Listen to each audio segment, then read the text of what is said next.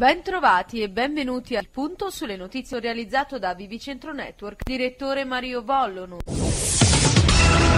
Il comando provinciale della Guardia di Finanza di Napoli ha sequestrato, in un negozio gestito da soggetti di origine cinese del quartiere Gianturco del capoluogo, 69.000 articoli con loghi contraffatti e non sicuri tra pseudomascherine FFP2 e accessori di Halloween messi in vendita. Le fiamme gialle, a seguito di pedinamenti e appostamenti, hanno verificato che la merce, regolarmente consegnata da uno spedizioniere al citato esercizio commerciale, è stata successivamente occultata dai dipendenti in un locale all'interno del negozio. Una volta intervenuti, i finanzieri hanno aperto i colli e all'interno hanno scoperto 28.000 mascherine facciali prive delle certificazioni di conformità e della relativa autorizzazione per l'importazione e l'immissione in commercio. Per approfondire questa notizia leggi l'articolo su Vivicentro.